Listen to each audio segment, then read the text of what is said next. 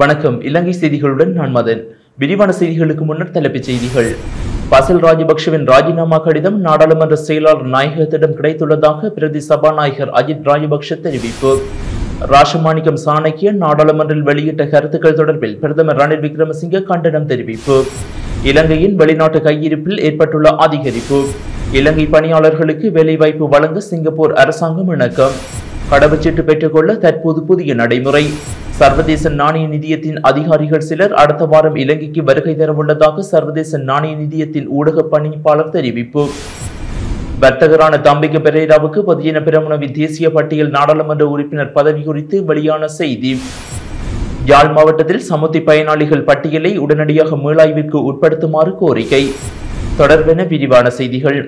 பசில் ராஜபக்ஷவின் ராஜினாமா கடிதம் நாடாளுமன்ற செயலாளர் நாயகத்திடம் கிடைத்துள்ளதாக பிரதி சபாநாயகர் அஜித் ராஜபக்ஷ உத்தியோகபூர்வமாக அறிவித்துள்ளதுடன் இந்த கடிதத்தை நாடாளுமன்ற செயலாளர் தம்பிக தசாநாயக்க நாடாளுமன்றத்தில் சமர்ப்பித்துள்ளார் எனவும் அவர் தெரிவித்துள்ளார். நேற்றைய தினம் ஸ்ரீலங்காவின் முன்னாள் நிதி அமைச்சர் பசில் ராஜபக்ஷ தனது பதவி விலகல் கடிதத்தை கையளித்ததோடு இனிவரும் காலங்களில் அரசாங்கத்தில் எந்தவிதமான பொறுப்புகளையும் வகிக்கப் போவதில்லை என்றும் ஊடகங்களிடம் பசில் அறிவித்துள்ளார். இதேவேளை பசில் ராஜபக்ஷவின் பதவி விலகலால் ஏற்படும் வெற்றிடத்திற்கு இலங்கையின் முன்னணி தொழில் அதிபர் தம்பிக பெரேரா நியமிக்கப்பட உள்ளதாக தெரிவிக்கப்படுகிறது. அவர் ஏற்கனவே ஸ்ரீலங்கா பத்தின பிரமணவின் உறுப்புரிமையை பெற்றுள்ளதாகவும் கட்சி வட்டாரங்கள் தெரிவிக்கின்றமையும் குறிப்பிடத்தக்கது. கடந்த மே இருபதாம் தேதியன்று நாடாளுமன்ற உறுப்பினர் ராசமாணிக்கம் சாணக்கியன் நாடாளுமன்றில் வெளியிட்ட கருத்துக்கள் தொடர்பில் பிரதமர் ரணில் விக்ரமசிங்க தமது கண்டனத்தை வெளியிட்டுள்ளார். இன்று காலை பத்து மணி முதல் சபாநாயகர் மஹிந்த ஜாபா அபேவர்த்தனவின் தலைமையில் நாடாளுமன்ற அமர்வு ஆரம்பமாகி நடைபெற்று வருகின்ற நிலையிலேயே ரணில் விக்ரமசிங்கே இதனை தெரிவித்துள்ளார். அவர் மேலும் குறிப்பிடுகையில் இருபதாவது அரசியல் அமைப்பு திருத்தம் உட்பட நாட்டுக்கு எதிரான செயற்பாடுகளுக்கு ஆதரவளித்தமை காரணமாகவே பலரின் வீடுகள் எரியூட்டப்பட்டதாக சாணக்கியன் வெளியிட்ட கருத்து ஏற்புடையதல்ல என குறிப்பிட்ட அவர் இந்த கருத்தின் மூலம் சாணக்கியன் நடந்த வன்முறைகளை ஏற்றுக்கொள்கிறாரா மரணத்தை ஏற்றுக்கொள்கிறாரா என்று ரணில் விக்ரமசிங்க கேள்வி எழுப்பினார். இதேவழி சாணக்கியனின் கருத்துப்படி இருபதாவது திருத்தத்திற்கு ஆதரவளித்தமையே வீடுகள் சேதப்படுத்தப்பட்டமைக்கு காரணமாக இருக்குமானால் குமார பெல்கமவின் மீது நடத்தப்பட்ட தாக்குதல் தொடர்பில் அந்த கருத்து பொருந்தாதது என்று ரணில் குறிப்பிட்டார். கோத்தபாய வீட்டுக்கு செல்ல வேண்டும் என்று முதலில் கூறியவரே குமார வெல்கம என்பது அவருக்கு தெரியும். எனவே அவர் ஏன் தாக்கப்பட்டார் என ரணில் விக்ரமசிங்க கேள்வி எழுப்பியுள்ளார். அடுத்த நாடாளுமன்ற அமர்வின் போது சாணக்கியன் தமது கருத்து தொடர்பில் கவலை வெளியிட்டு தமது கருத்தை திரும்பி பெற வேண்டும். இல்லையேல் குறித்த கருத்து தொடர்பில் விசாரணை மேற்கொள்ளுமாறு சபாநாயகரிடம் கோர வேண்டி இருக்கும் என்று ரணில் விக்ரமசிங்கே எச்சரித்தார். இந்நிலையில் காலை முகத்திடல் வன்முறை முதல் அன்று முதல் இடம்பெற்ற அனைத்து சம்பவங்கள் தொடர்பிலும் விசாரணை நடத்திய சுயாதீனமான அறிக்கையை சமர்ப்பிக்குமாறு பொதுநலவாய நாடாளுமன்ற செயலாளரிடம் கோரியிருப்பதாக பிரதமர் ரணில் விக்ரமசிங்கே மேலும் குறிப்பிட்டார். இலங்கையில் பாரிய பொருளாதார நெருக்கடி ஏற்பட்டுள்ள நிலையில் ஐந்து மாதங்களின் பின்னர் வெளிநாட்டு கையிருப்பு மற்றும் அந்நிய செலாவணி அதிகரிப்பை பதிவு செய்துள்ளதாக தெரிய வந்துள்ளது. இதன்படி இரண்டாயிரத்தி இருபத்தி ரெண்டாம் ஆண்டு மே மாத இறுதியில் இலங்கையின் உத்தியோகபூர்வ வெளிநாட்டு கையிருப்பு அதிகரித்துள்ளதுடன் மே மாத கையிருப்பு ஆயிரத்தி தொள்ளாயிரத்து இருபது மில்லியன் அமெரிக்க டாலர்களாக அதிகரித்துள்ளது. இரண்டாயிரத்தி இருபத்தி ரெண்டாம் ஆண்டு ஏப்ரல் மாதம் பதிவாகியிருந்த ஆயிரத்தி எண்ணூற்றி பன்னிரண்டு மில்லியன் அமெரிக்க டாலர்களிலிருந்து இந்த அதிகரிப்பு ஏற்பட்டுள்ளதாக இலங்கை மத்திய வங்கி தெரிவித்துள்ளது. கடந்த ஐந்து மாதங்களின் பின்னர் உத்தியோகபூர்வ வெளிநாட்டு கையிருப்பு அதிகரிப்பு ஏற்பட்ட முதல் சந்தர்ப்பம் இதுவாகும் என இலங்கை மத்திய வங்கி தெரிவித்துள்ளது. இதேவேளை மே மாதத்தில் இலங்கையின் அந்நிய செலாவணியிலும் சிறிதளவு அதிகரிப்பு ஏற்பட்டுள்ளதாக குறிப்பிடப்படுகின்ற நிலையில் இந்த காலப்பகுதியில் ஆயிரத்து அறுநூற்றி இரண்டு அமெரிக்க டாலரில் இருந்து ஆயிரத்து எண்ணூற்றி ஐந்து அமெரிக்க டாலர்களாக இலங்கையின் அந்நிய செலாவணி அதிகரித்துள்ளதாக இலங்கை மத்திய வங்கி தெரிவித்துள்ளது. இலங்கை பணியாளர்களுக்கு சிங்கப்பூரில் வேலைவாய்ப்பு வழங்க சிங்கப்பூர் அரசாங்கம் இணக்கம் தெரிவித்துள்ளது. இலங்கை எதிர்கொள்ளும் கடுமையான நெருக்கடியை தீர்க்க முகமாக சிங்கப்பூர் அரசாங்கம் இந்த முடிவுக்கு இணக்கம் தெரிவித்துள்ளதாக கூறப்படுகின்றது.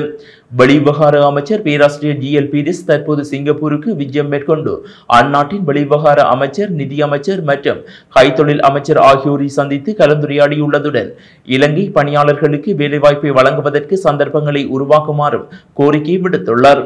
ஜிஎல் பீரிஸின் கோரிக்கைக்கு சிங்கப்பூர் அரசாங்கம் இணக்கம் தெரிவித்ததாகவும் சுகாதாரத்துறையில் அதிக அளவில் வேலைவாய்ப்புகளை வழங்குவதற்கு கவனம் செலுத்தப்பட்டுள்ளதாகவும் தகவல்கள் கிடைக்கப்பெற்றுள்ளன.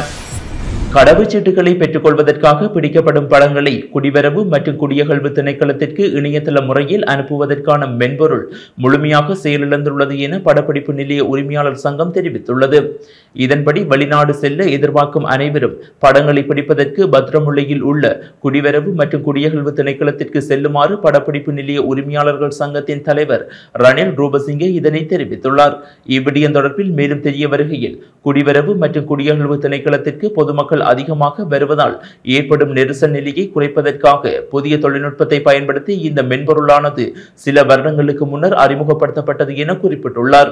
இதன்படி நாட்டின் எந்த ஒரு பிரதேசத்திலிருந்தும் வெளிநாடு செல்ல எதிர்பார்ப்போர் தமது பிரதேசத்தில் உள்ள குடிவரவு மற்றும் குடியகழ்வு திணைக்களத்தின் கீழ் பதிவு செய்யப்பட்ட படப்பிடிப்பு நிலையங்களில் படத்தை பிடித்து இணையதள முறைமையில் பத்திரமுல்லையில் உள்ள தலைமையகத்திற்கு அதனை அனுப்பும் முறைமை உள்ளது. இந்த நிலையில் படங்களை அனுப்புவதற்கான மென்பொருள் முழுமையாக செயலிழந்துள்ளதாக படப்பிடிப்பு நிலைய உரிமையாளர்கள் சங்கத்தின் தலைவர் ரணில் ரூபசிங்க தெரிவித்துள்ளார். சர்வதேச நாணய நிதியம் இலங்கை பணியாளர்கள் மட்டத்தில் ஏற்படுத்திக் கொள்ளும் உடன்படிக்கை மற்றும் கடன் வழங்கப்படவுள்ள திகதிகளை தெரிவிக்க முடியாது என நிதியத்தின் ஊடக பணிப்பாளர் ஹெரிஸ் டாய்ஸ் தெரிவித்துள்ளார். சர்வதேச நாணய நிதியம் நடத்திய செய்தியாளர் சந்திப்பில் அவர் இதனை கூறியுள்ளார். இது தொடர்பில் அவர் மேலும் தெரிவித்துள்ளதாவது சர்வதேச நாணய நிதியத்தின் அதிகாரிகள் சிலர் அடுத்த வாரம் நபர்கள் மட்டத்திலான சந்திப்புக்காக இலங்கைக்கு செல்ல உள்ளனர் எனவும் இதில் இலங்கை அதிகாரிகளுடன் தொழில்நுட்ப பேச்சுவார்த்தைக்கு அமைய உருவாக்கப்பட்டுள்ள சர்வதேச நாணய நிதியத்தின் வேலை திட்டம் தொடர்பாக கலந்துரையாடப்பட உள்ளன என்றும் அவர் குறிப்பிட்டுள்ளார்.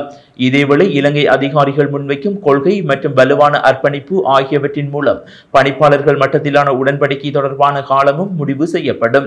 இலங்கையின் கடன் நிரந்தர மட்டத்தில் இருக்கவில்லை என்பதால் கடனை நிரந்தர தன்மைக்கு மாற்றுவது தொடர்பாக எமது பணிப்பாளர் சபைக்கு போதுமான உறுதியளிப்புகள் தேவைப்படுகின்றன என தெரிவித்துள்ளார். இந்நிலையில் உலக உணவு மற்றும் எரிசக்தி நெருக்கடி காரணமாக இலங்கை மக்களுக்கு ஏற்படக்கூடிய பாதிப்பு பாதிப்புகள் குறித்து அவதானித்து வருவதாகவும் இதற்கான வழங்கப்படும் நிதி பலம் இயலுமை தொடர்பாக பேச்சுவார்த்தை நடத்த இன்னமும் காலம் இருக்கின்றது என கெரிஸ் பிரைஸ் மேலும் கூறியுள்ளார். வர்த்தகரான தம்பிக்க பெரேராவுக்கு சொந்தமான நிறுவனம் அல்லது இயக்குநராக செயற்படும் நிறுவனம் அரசாங்கத்துடன் கொடுக்கல் வாங்கல் செய்தால் அவரது நாடாளுமன்ற உறுப்பினர் பதவி ரத்தாகி விடும் என அரசியலமைப்பில் குறிப்பிடப்பட்டுள்ளது. அரசியலமைப்பின் பிரிவு பத்தொன்பது e இயில் இதற்கு தொடர்புடைய சட்டங்களை கொண்டுள்ளது. இதேவேளையில் பசல் ராஜபக்ஷவின் பதவி விலகலால் ஏற்பட்ட வெற்றிடத்திற்கு தம்பிக்க பெரேராவை நியமிக்க முடியாது என சட்ட நிபுணர்கள் சுட்டிக்காட்டியுள்ளதுடன் நாடாளுமன்றம் செல்லும் எண்ணம் தனக்கு இல்லை என தம்பிக்க பெரேரா ஊடகம் ஒன்றுக்கு தகவல் தெரிவித்துள்ளமையும் குறிப்பிடத்தக்கது. இந்நிலையில் தம்பிக்க பெரேரா அரசியலில் பிரவேசித்ததன் பின்னர் அடுத்த அரசு தலைவர் தேர்தலில் பொது வேட்பாளராக களமிறங்குவார் என்ற சந்தேகம் காரணமாக தம்பிக்க பெரேராவுக்கு நாடாளுமன்ற உறுப்பினர் பதவி மற்றும் அமைச்சு பதவி வழங்குவதற்கான திட்டம் மாற்றப்பட்டுள்ளதாக தகவல்கள் வெளியாகியுள்ளன. இதேவேளை தம்பிக்க தேசிய பட்டியல் உறுப்பினராக நாடாளுமன்றம் பிரவேசிக்க உள்ளதாக செய்திகள் பரவி வந்த நிலையில் அவரது அனைத்து நிறுவனங்களின் பங்கு விலையும் நேற்று பாரியளவில் உயர்வடைந்துள்ளதாக தெரிவிக்கப்படும். காணப்படுகின்றது. யாழ் மாவட்டத்தில் சமுத்தி பயனாளிகள் பட்டியலை உடனடியாக மீளாய்வுக்கு உட்படுத்தி அதிக வறுமை கோட்டிற்கு கீழ் காத்திருப்போர் பட்டியலில் வைக்கப்பட்டுள்ள குடும்பங்களை சமுத்தி பயனாளிகளாக உள்ளீர்க்குமாறு யாழ் அரசு அதிபரிடம் கோரிக்கை விடுக்கப்பட்டுள்ளது. வலிமைக்கு பிரதேச சபை உறுப்பினர் நாம் பொன்ராசா இந்த கோரிக்கையை முன்வைத்துள்ளார். இது தொடர்பான கோரிக்கை கடிதத்தை இன்றைய தினம் யாழ் அரசாதிபருக்கு மின்னஞ்சல் மூலம் அவர் அனுப்பி வைத்துள்ளார். இந்த கடிதத்தில் தமது வாகனங்களுக்கான எரிபொருட்களையும் அத்தியாவசிய பொருட்களையும் வீடுகளில் பதுக்கி வைத்துள்ள ஆயிரக்கணக்கான குடும்பங்கள் சமுத்தி பயனாளிகளாக உள்ள நிலையில் ஒரு ராத்தல் பான் வாங்க முடியாத ஆயிரக்கணக்கான குடும்பங்கள் சமுத்தி பயனாளிகளாக உள்வாங்கப்படாமல் உள்ளனர் என்ற வேறுபாட்டையும் அவர் விவரித்துள்ளார். யாழ் மாவட்டத்தில் சமுத்தி பெறும் குடும்பங்களில் எழுபது வீதமானவர்கள். உயர் வருமானம் பெறும் தகுதியேற்ற குடும்பங்கள் என யாழ் மாவட்ட சமுத்தி ஆணையாளர் பொதுவெளியில் குறிப்பிட்டுள்ள கருத்தையும் அவர் தமது கடிதத்தில் சுட்டிக்காட்டியுள்ளார். நாட்டில் வறுமை ஒழிப்பு திட்டமாக நடைமுறைப்படுத்தப்படும் சமுத்தி திட்டத்தின் கீழ் யாழ் மாவட்டத்தில் எழுபத்தி எட்டாயிரத்து நானூற்றி நாற்பத்தி ஒரு குடும்பங்கள் சமுர்த்தி பயனாளிகளாக உள்ளிர்க்கப்பட்டுள்ளனர் இதில் பெரும்பாலானோர் உயர் வருமானம் பெறுபவர்கள் ஆவர் இந்த தகவல்கள் அதிகாரிகளுக்கு தெரிந்திருந்தும் நடவடிக்கை எடுக்காமல் இருப்பது அதைவிட வேதனையானது. அதுவும் சமுத்தி பயனாளிகள் தெரிவு எழுபது வீதம் பிழையானது என தெரிந்திருந்தும் அது தொடர்பாக ஆக்கப்பூர்வமான நடவடிக்கை எடுக்காத யாழ் மாவட்ட சமுத்தி ஆணையாளர் அவர்கள் பரிதாபத்திற்கு உரியவர் என குற்றம் சுமத்தியுள்ளார்.